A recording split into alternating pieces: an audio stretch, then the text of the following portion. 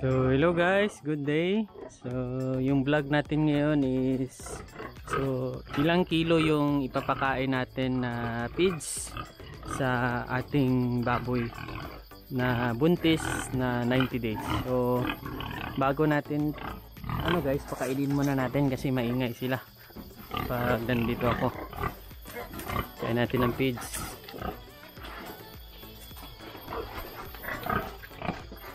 Kainin muna natin guys kasi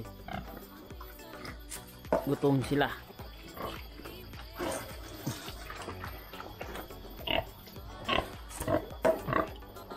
So, ulitin ko guys. So, ilang kilo ng feeds na pinapakain namin sa buntis na baboy na 90 days. So, pakita ko lang. So, ito yung ah 90 days namin na baboy. So, nag 90 days siya ngayong araw, March 28. So, ito na yung tiyan niya guys. So, malaki na.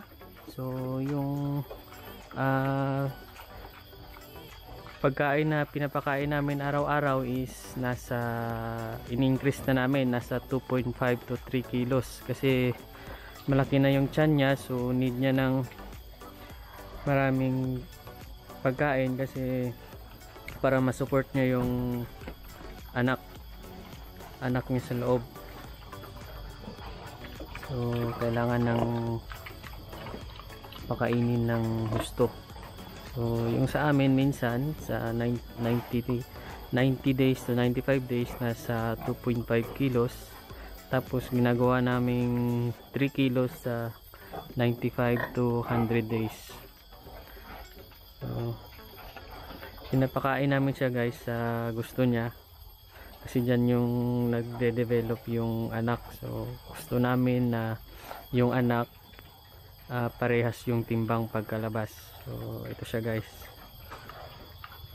Ito si Mama Pig. So, yung iba ah, nasa 60 days pa lang sila. So, yung pinapakain namin is ah, daily is 2 kilos every day. So, pinapakain namin to guys ng 3 times a day. Yung buntis namin nasa yung morning, tapos tanghali, tapos sa hapon. Yan yung time nila. So, alam na nila yan guys pag kainan na kahit walang tao, um, nag-iingayan sila. Kasi alam na nila na ka pagkain na. So ito nasa 65 days siya. Ito yung buntis na isa. So halos buntis silang lahat, guys. So yung tat itong tatlo, guys, so one week lang yung pagitan nila. Na na-breed sila. So ito yung nauna na mama pig. Pakita natin. So ito siya. Mas nauna siyang na-breed kaysa doon sa tatlo. Yung tatlo kasi guys, ah, ano, magkapatid. So, ito si Mama Pig.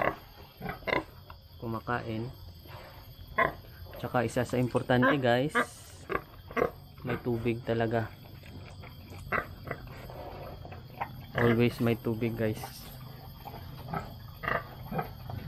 So, yun lang guys. So, iulit ko lang. So, 90 days nagdadagdag kami ng feeds. So, napakain. So, salamat guys. Yun lang. Thanks sa nag-subscribe na bago. Salamat.